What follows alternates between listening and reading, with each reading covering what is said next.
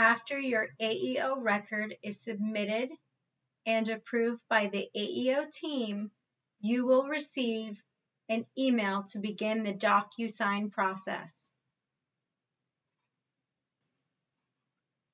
Once you receive that email, click on the yellow button or link that says Review Document.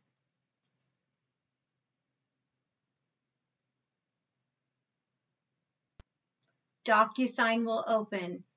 Check the box that says I agree to use electronic records and signatures. Click Continue. Click Start. It will jump you to the section for the signature. Click the sign icon. Validate your full name and your initials. If everything looks correct, click Adopt and Sign. If something is inaccurate, correct. And then click Adopt and Sign.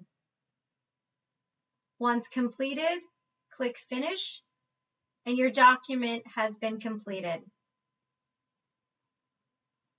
You have the option to save a copy for your documents. If so, fill in the details and click Submit. If you do not want to save a copy here, you can click No Thanks and you can finish.